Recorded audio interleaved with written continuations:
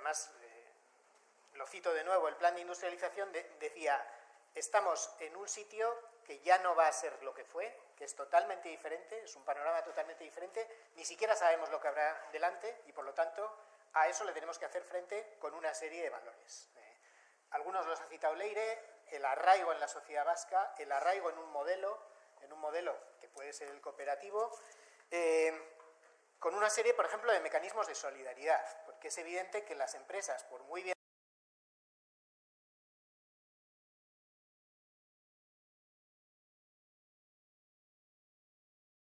organizadas que estén, por mucho que se hayan preparado para la industria 4.0, sobre todo aquellas que se dedican a exportar, aquellas que se dedican a abastecer a otros mercados, están al albur de que esos mercados en un momento dado, como está pasando ahora mismo con los países emergentes, funcionen o no funcionen. Y eso eh, va a suceder de un año para otro que eh, las ventas que tienes pues, se pueden reducir un 25% a la mitad. Entonces, hacen falta mecanismos de solidaridad entre cooperativas,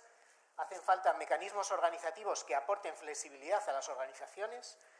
Yo hay una cosa que llevo defendiendo desde, año, desde hace años y que igual hoy sonará menos extemporánea después de que el profesor Torres haya dejado claro que se agotan los recursos naturales y que, no son infinitos. Y es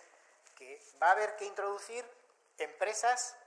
que produzcan a tiempo parcial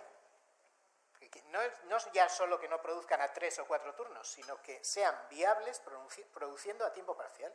porque en momentos dados pues no habrá suficiente mercado para sus productos o la crisis de, ciertos mercados a los que abastecían provocará que disminuyan los pedidos. Entonces, la flexibilidad organizativa dentro de las organizaciones, en este caso de las cooperativas, para ser capaces a través de sus propios mecanismos de adaptarse a un menor volumen de pedidos en un momento dado, pues puede tener su, puede tener su, su valía a la hora de que el proyecto permanezca o desaparezca. Sí, bueno, yo